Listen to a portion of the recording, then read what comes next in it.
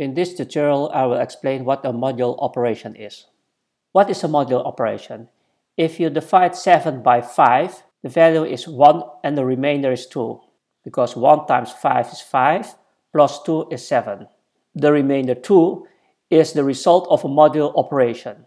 If you are only interested in the remainder, the mathematical notation is 7 mod 5 is 2.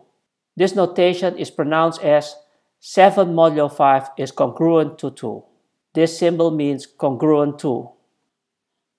In this example, the value 5 is called the modulus.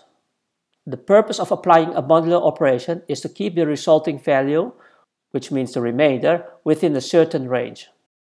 Here's an example. The modulus is 5. As you can see over here, the value is increasing. 0, 1, 2, 3, 4, 5, 6, 7, 8, 9, 10, 11, 12, 13, 14, 15, 16, 17, 18, and 19. If you look at the resulting value, the resulting value never exceeds the value 4, and that's the purpose of applying a modulo operation. The value never exceeds the modulus minus 1. 14 mod 5 is 4 because 14 divided by 5 is 2 and the remainder is 4. 19 mod 5 is 4 because 19 divided by 5 is 3 and the remainder is 4. Summarized, n mod p is the remainder and the remainder lies between 0 and p minus 1.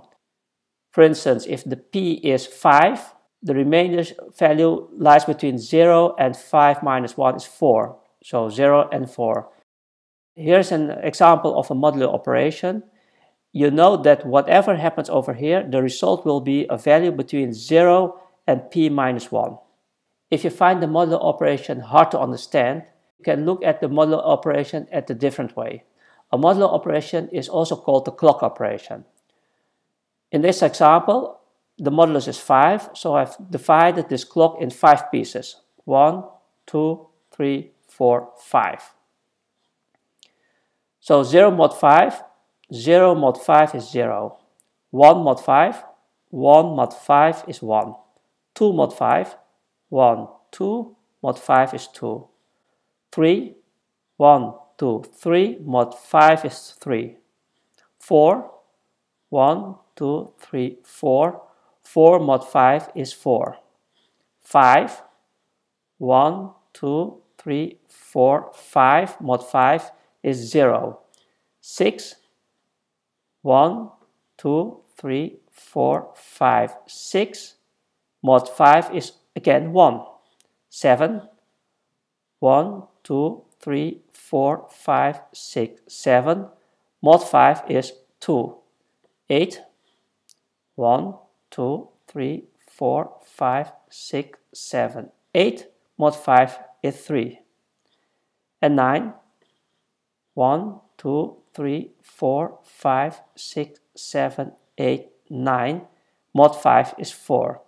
if I use the modulus 5, the remainder lies always between 0 and 4. If I take the modulus of 8, the remainder will always be a value between 0 and 7. If I take the remainder 10, the remainder lies always between 0 and 9. The purpose of this video is not to teach you how to do modulo arithmetic, but just to explain what the purpose is of a modulo operation. Here are some uh, examples of a modulo operation. In this equation, lambda will be a value between 0 and p minus 1. In this equation, the value will always be a value between 0 and p minus 1. In this equation, the value will be a value between 0 and p minus 1.